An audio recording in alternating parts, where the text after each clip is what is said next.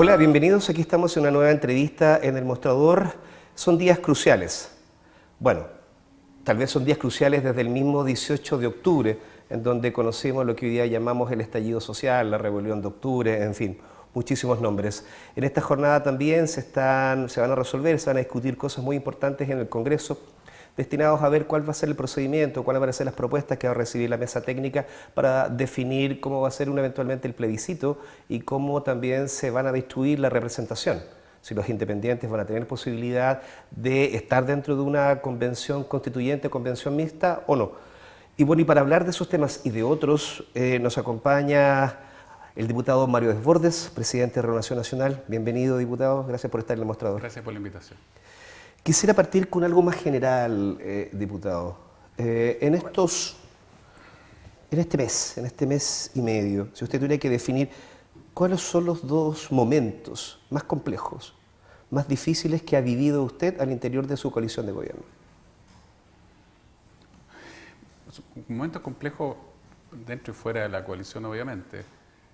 Yo creo que el primer fin de semana, después de ese viernes tan difícil en donde se se decreta el estado de emergencia y el jueves y viernes de las negociaciones entre partidos para trazar este itinerario constitucional, acordar este itinerario constitucional, porque no fue fácil.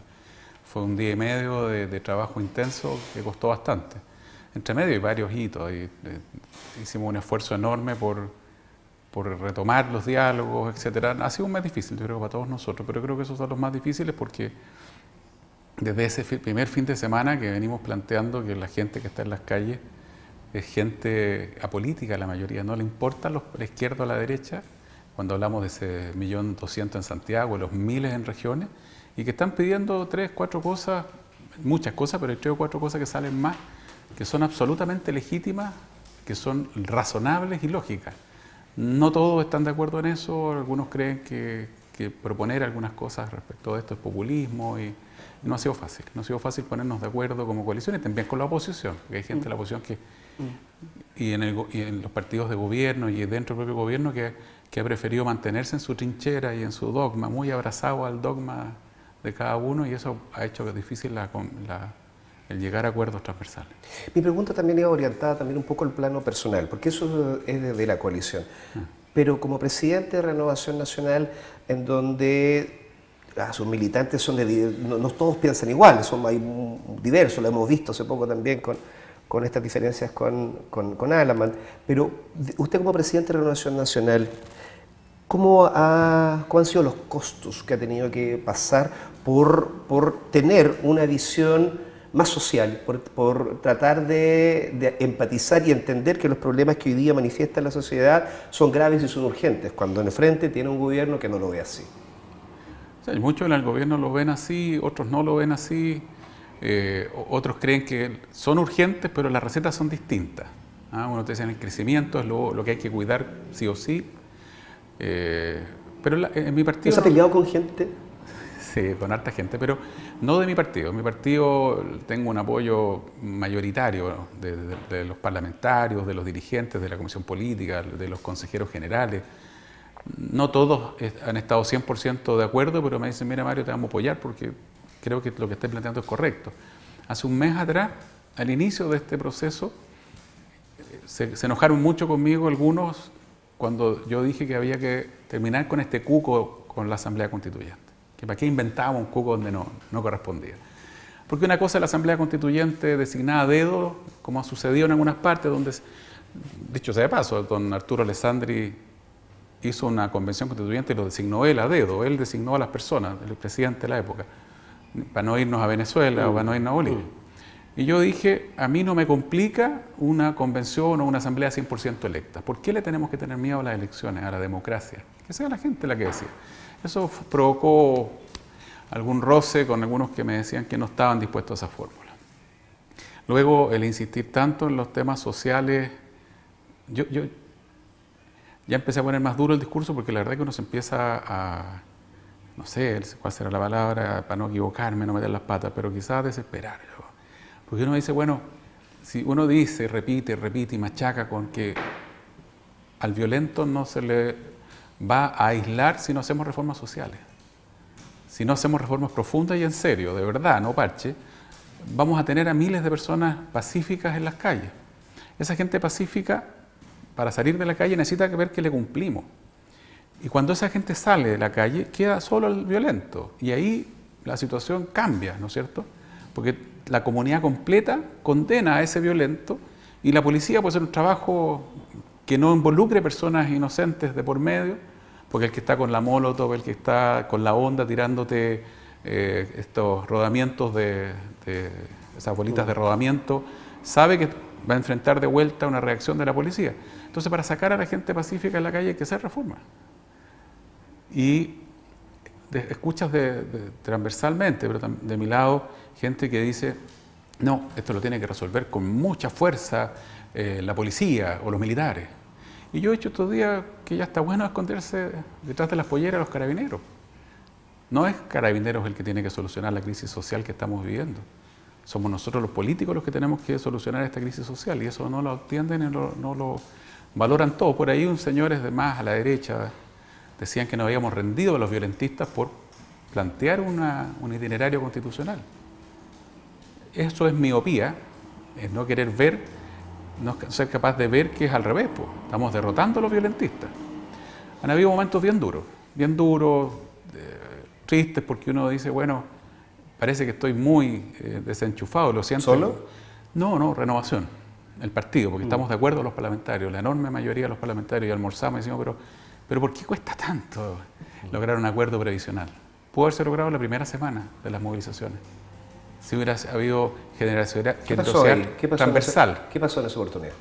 Desde la izquierda hay algunos que se atrincheran en que esto tiene que ser así, 100%, y si no, no lo aprueban, y no, no tienen la flexibilidad para entender que este no es el minuto de la trinchera, que hay que salir de la trinchera y buscar acuerdos.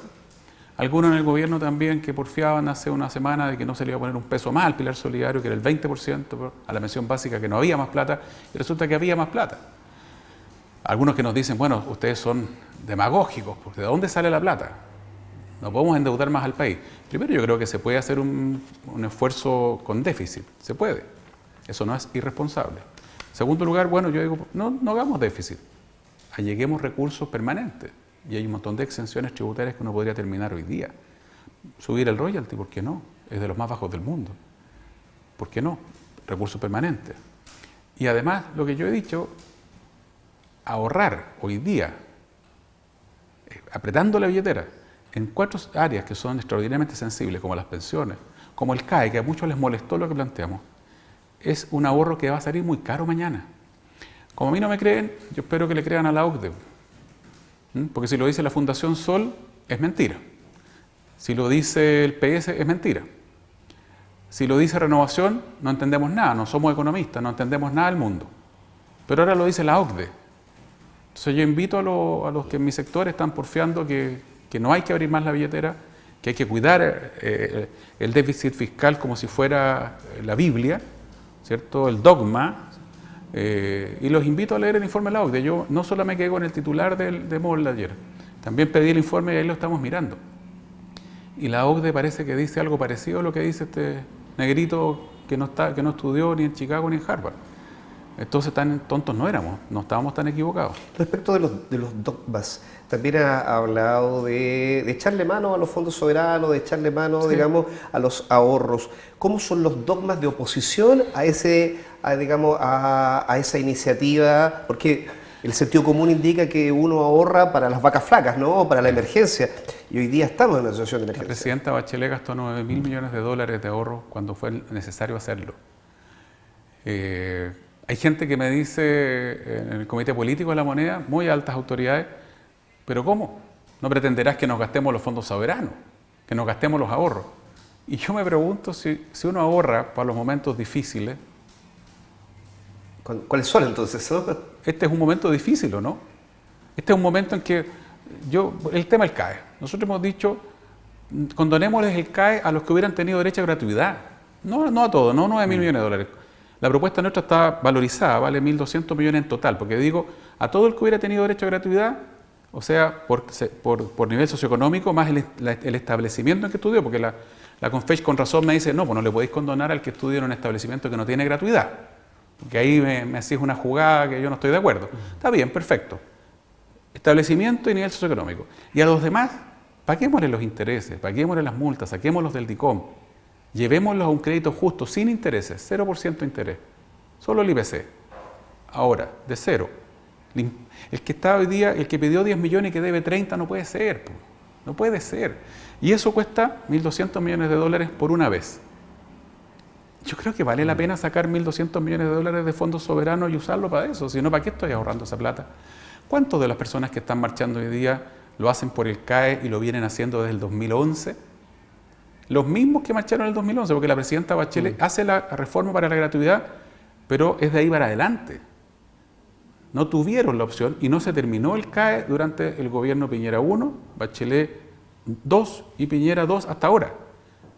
Y lo que nosotros proponemos es que los llevemos algunos en gratuidad, como está hoy día, respetando las reglas, y al resto a una forma justa de crédito, que además es solidario, antes se llamaba fondo solidario. ¿Por qué? Porque tú devuelves sin intereses para que otros puedan seguir estudiando. Me dicen que eso es populismo, fíjate, algunas autoridades de gobierno. Yo no veo dónde está el populismo. Estoy diciendo cómo se financia, estoy explicándoles con manzanita de que la gente está marchando por eso. Entonces, ¿qué es lo que te dicen? No, bueno, prefiero Compadre, yo lo que, lo, que, lo que uno tiene que plantearse aquí es cómo hago para que la gente deje de marchar. Me hicieron una caricatura en varios lugares, sobre todo en la derecha más dura. Hoy día veía que la vocera se despacha una mala frase también. Eh, no estamos de acuerdo con, con, lo que dice Desborde de seguir marchando. Mi sector le cuesta comprender el concepto de mm. movilización. ¿eh? Yo hablé de seguir movilizado yo entiendo la, dialéctica y comprendo lo que significa estar movilizado. Soy gran admirador de Gandhi, Luther King y ellos te hicieron un manual de cómo movilizarse sin necesariamente llegar a una gran marcha y menos llegar a la violencia. Yo lo que planteo es que la gente esté alerta, porque muchos transversalmente no, están dispuestos a ceder, izquierda y derecha, eh, hoy día, y están hoy día más o menos flexibles por la movilización. Pues si se termina esta movilización, entonces yo quiero ser súper claro, yo no he llamado a marchar, eso es mentira. Pero sí creo que la gente tiene que estar alerta. Y a uno de mis sectores les molesta esta frase, no me importa.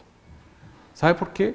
Porque yo creo que si no hacemos las reformas ahora, en seis meses más, en un año más, si es que esto decanta, ¿no? la gente deja de salir a la calle, vamos a tener un reventón peor que este. Obviamente Dentro de las movilizaciones pueden ser redes sociales, puede ser una cicletada gigante con 3.000 personas, puede ser una cosa breve, hay muchas alternativas. Ojalá no sigamos usando los mismos lugares, ojalá no soltemos la Plaza Italia donde el comercio ya no da más, los pymes no dan más, y ojalá no, no sea necesario marchar, pero eso va a dejar de suceder solo si hacemos reforma. Yo no sé si estoy hoy día eh, optimista me cuesta entender por qué a un mes todavía no hacemos la reforma de la salud, por ejemplo. Usted recién me mencionó la palabra que estaba un poco desesperado.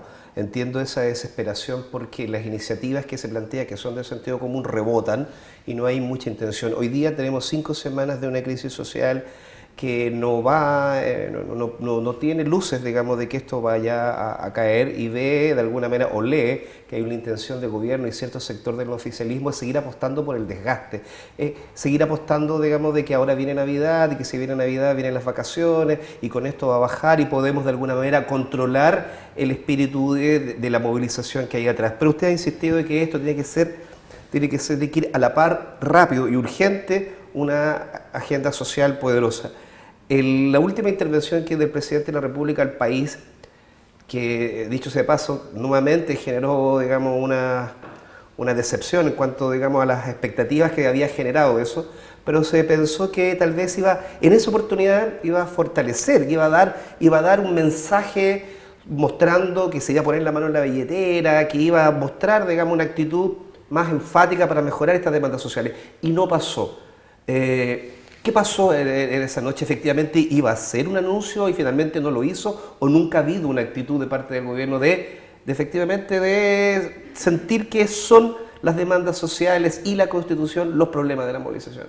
Yo creo que el gobierno lo tiene claro, el presidente no es que no quiera avanzar en las demandas sociales, él está de acuerdo. Lo que pasa es que ahí empezamos a discutir eh, si podemos gastar ahora y no dañar la economía con un déficit Porque no son más alto. automáticos entonces. Claro, hay un sector por lado y lado, yo vuelvo a insistir, porque algunas de las reformas no se han podido lograr porque hay sectores en la izquierda que te dicen yo no estoy dispuesto a transar, tú me apruebas el 100%, sobre todo ahora que estás en este problema como gobierno, o no avanzamos. Y tampoco puede ser esa la solución. Ahora, efectivamente hay un sector economicista fanático que te dice equivocadamente, porque además están, son irresponsables, de que no hay que gastar más porque hay que conservar el, déficit fiscal controlado, porque si el déficit aumenta, podríamos tener, ¿cierto?, desde el Estado un eh, eh, gasto excesivo que va generando crecimiento, menor crecimiento y menor creación de empleo. Yo creo que se puede apostar a un mejor crecimiento y apostar, por lo tanto, a que no se dañe tanto el empleo haciendo la reforma social, yo creo al revés. Y, y sabéis que hasta hace dos días yo era un ignorante nomás, pero hoy día lo dice la OCDE. Vuelvo a insistir en eso, lo dice la OCDE. No lo está diciendo la, la- la- la- la izquierda, no lo está diciendo este partido político, que es el más grande de Chile, dicho sea de paso, en concejal, en alcalde, en core, en diputados y en senadores. No lo está diciendo este partido político que no entiende nada de economía. Lo está diciendo la OCDE. Entonces, sí, desesperado porque veo que se transcurren las semanas y no llegamos a acuerdo. El presidente yo creo que ha tenido la mejor voluntad. El presidente Piñera hizo un llamado a todos los chilenos a eh, abrirse al diálogo en momentos que él pudo haber decretado estado de emergencia. Y no lo hizo, tomó un riesgo. Y un riesgo que yo creo que la historia debería reconocer, porque de verdad, eh, si él hubiera decretado estado de emergencia, hasta ahí llega el diálogo.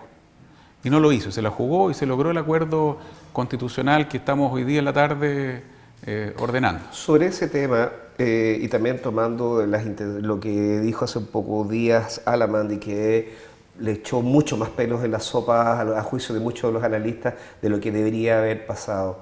Eh, y empezó a correr el fantasma de que tal vez el acuerdo podría estar en riesgo. Hoy día hay una sesión importante, se va a hablar, se van a presentar las propuestas en la comisión técnica. Eh, desde dentro, diputado, ¿Qué tan cierto puede ser que este acuerdo por una nueva constitución esté en riesgo, esté en peligro? No, yo no lo veo en riesgo. No- Nosotros estamos firmando esto de buena fe. Eh, yo en la mañana di una entrevista en una radio, quizás fui muy duro con Fernando Atria. Yo le hago una invitación a Fernando Atria a ayudar a que esto avance y no a torpedearlo. Fernando Atria con su video mofándose de, de- de la contraparte. Yo sé que él tiene la autoestima muy alta, está bien, es un gallo muy inteligente, muy capaz, pero lo que está haciendo Fernando Atria es echar abajo acuerdo. Nosotros, a nosotros no nos hicieron leso, le transmitiría a Fernando Atria, sabemos lo que firmamos. Si él cree que con su tercio va a poder dejar fuera cosas que nosotros queremos, tiene razón, pero se le olvida un detalle. Con mi tercio, o dos tercios, o mi 50%, yo también le puedo dejar afuera todo lo que él quiera. Exacto. Y Es, si- de, es de ida y vuelta. Y es, una- es un juego de suma cero. Entonces yo invito a Fernando Atria a poner su inteligencia que tiene harta al servicio de, la, de, de Chile, a que busquemos acuerdos, que, que no tengamos una constitución que represente solo a Fernando Atria. Yo no quiero una constitución, como dicen algunos, que representaba solo a Jaime Guzmán, la de hoy, que creo que es una buena constitución, en eso estoy en desacuerdo con Atria. Yo estoy dispuesto a una nueva constitución creyendo que esta es buena, porque creo que no representa a todos los chilenos. Y quiero una constitución que ojalá represente el 70, el 80% de, de- de- de este país, que sea la casa de todos, como les gusta decir a muchos, el paraguas común.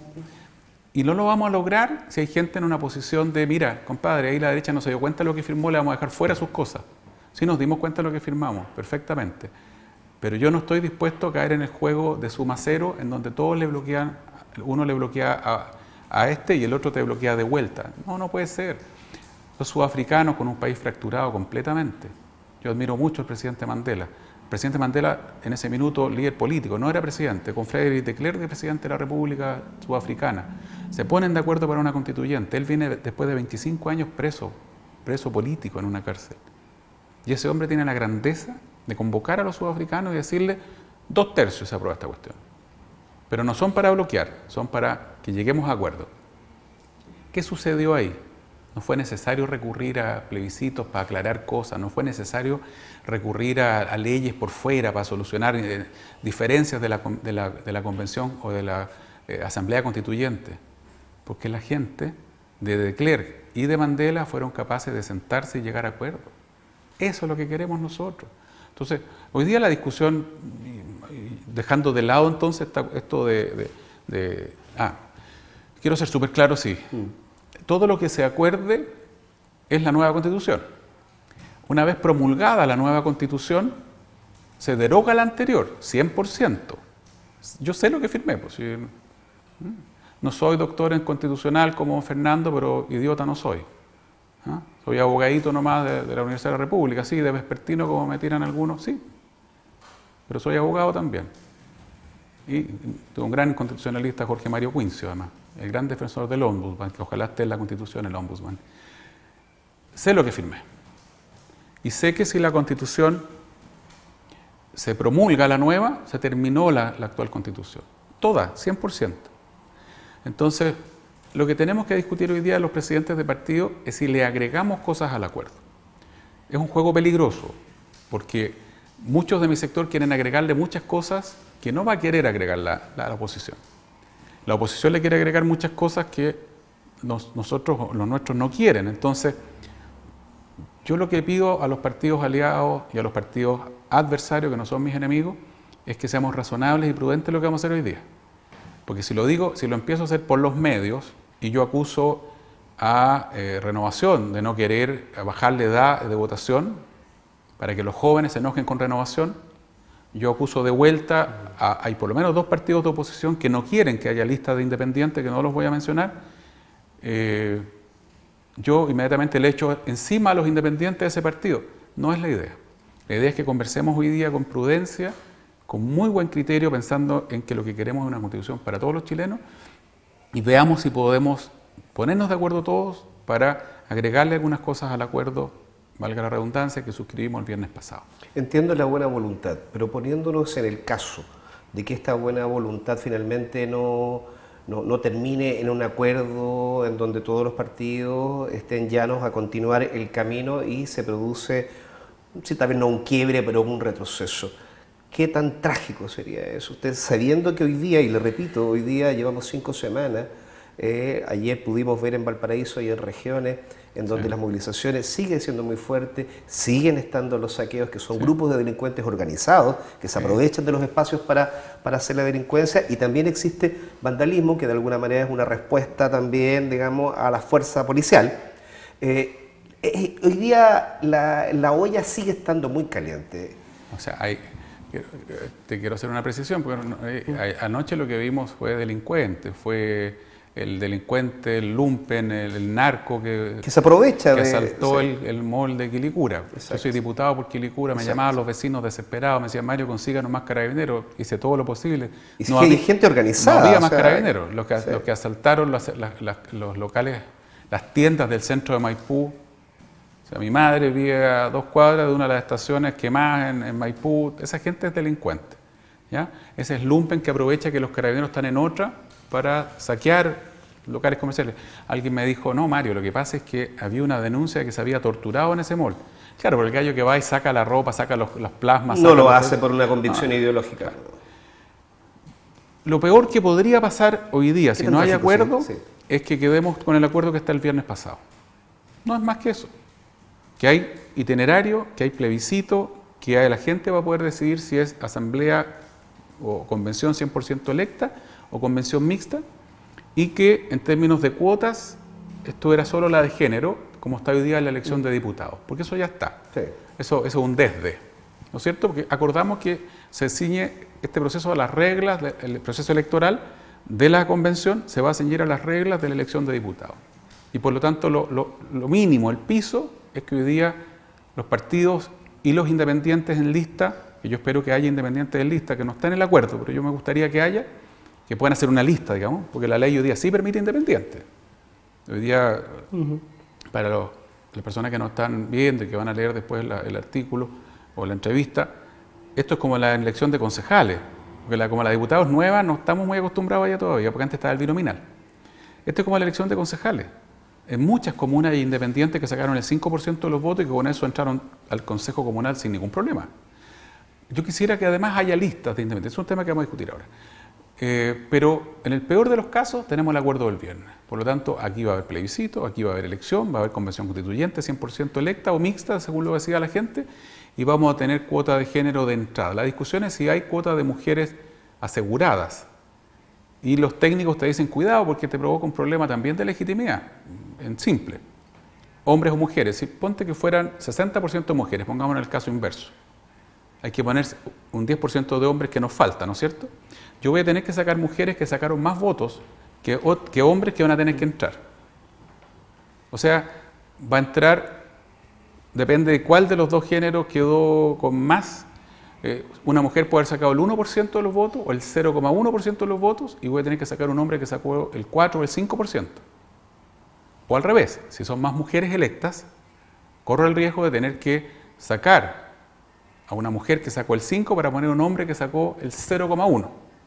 Eso me parece que también es complicado para la democracia. Entonces, las frases son muy bonitas, mm. pero hay que analizar después para abajo cómo funciona. Yo, yo, yo, he dicho muy, mucho, he insistido mucho en que una cosa es la técnica, tanto en las reformas sociales como en la constituyente, en el proceso constituyente, y, también es muy importante con la, junto a la técnica, a, lo que dice la ley, lo que dice el economista, lo simbólico. Lo simbólico es muy importante. Y por lo tanto tenemos que ser, estar atentos a que haya mucha participación, que nadie se sienta fuera. Nos han pedido cuota de pueblos originarios, nos han pedido cuota de minorías sexuales, nos han pedido eh, que sea paritario al final, en, género. Todo eso lo vamos a conversar hoy día, vamos a ver si se puede. El problema es que tenemos al menos cuatro grupos distintos que nos están pidiendo cuotas, porque también tengo parlamentarios de mi sector que piden que haya asegurado una cantidad de personas de, zonas rurales, que dicen que están subrepresentadas, de campesinos, digamos, de gente de campo. Chuta, no es fácil armar el puzzle. Yo le preguntaba sobre lo simbólico y sobre también la tragedia, como para poder ir cerrando la conversación también, porque cuando el viernes pasado conocimos este acuerdo transversal, que como usted dice, eh, se cedió con el plebiscito de entrada, una nueva constitución y dentro de los mecanismos de la nueva constitución, el mecanismo de una asamblea constituyente que después se llamó convención constituyente. Sin embargo, eh, los que esperábamos tal vez que hubiese una especie de catarsis en la, calle el día siguiente celebrando esto no ocurrió. No, no hubo esa, esa catarsis colectiva porque predominó lo que conocemos hasta ahora, la desconfianza, porque las instituciones están deslegitimadas y la clase política es una de ellas, especialmente el Congreso, dentro de las más deslegitimadas. Una, un, que hoy día no lleguen a, una, a un acuerdo. Eh, cómo eso volvería, digamos, a complejizar incluso más todavía esta propia desconfianza de la calle, porque son los políticos los llamados a llegar a acuerdo. Ya hay un acuerdo, y ese es el, eso es lo que... No se cae no se cae el acuerdo. Lo que pasa es que hay algunos que, que, no quieren que esto funcione, de lado y lado. De lado y lado hay gente que no quiere que, que haya un itinerario constitucional y por eso piden de todo. O sea, tiene, eh, hay, hay una cantidad de peticiones que se nos está haciendo que son impresionantes. O sea, que voten de 14 años para arriba y la verdad que yo los veo que se van a sacar el servicio militar con la mamá al lado. Entonces mm. uno dice, o sea, ¿podemos meter tanta cosa en este proceso y yo le agrego todas las que yo quiero y echamos abajo el acuerdo? No. Veamos qué se puede incorporar, pero manteniendo el acuerdo. Hay gente de lado y lado que no quiere que esto funcione. Y por lo tanto siempre se van a estar quejando y criticando, pero yo creo que la gran mayoría de los chilenos valora la forma en que está construido este acuerdo. Eh, hablaba con don Pancho Guanchumilla que me dice, Mario, debería haber un 10, 15, 20% de pueblo originario. Resulta que en el registro de CONADI son 500 y tantas mil personas. Eso equivale al 5 o 4 y tanto por ciento del padrón electoral. Entonces, puede haber un 15 si, No, me dice Pancho, que lo que pasa es que el 15% de los chilenos dice ser eh, o, identificarse con un pueblo originario, pero, pero ¿cómo separas eso en, en los libros del CERVEL? No es fácil, eh, es una cuestión muy compleja. Lo razonable es usar el padrón de Conadi, por ejemplo, que ya se ha usado para elecciones. Pero también me dicen amigos Aymara, eh, ojo que el pueblo mapuche está muy representado en ese padrón de Conadi. Nosotros los Aymara no estamos, porque no nos metemos mucho en ese padrón, porque no interactuamos tanto con la Conadi y estamos en otra instancia. Los amigos de Aguita me dicen lo mismo, que, son poquitos, pero los aymaras sobre todo me hicieron ver eso ayer. Renovación tiene mucho dirigente pueblo originario, tenemos un área pueblo originario que tiene 150 personas trabajando permanentemente. Tenemos concejales, core, alcaldes de pueblos originarios. Y diputada. Nosotros, una de las dos diputados mapuche es de renovación, la otra es la, diputada Emilia Nullao eh, y Araceli Luquen son los únicos dos 100% mapuche en el Congreso. Las dos mujeres y una es de renovación, la otra es la Emilia, mi, colega Nullao, ella es socialista.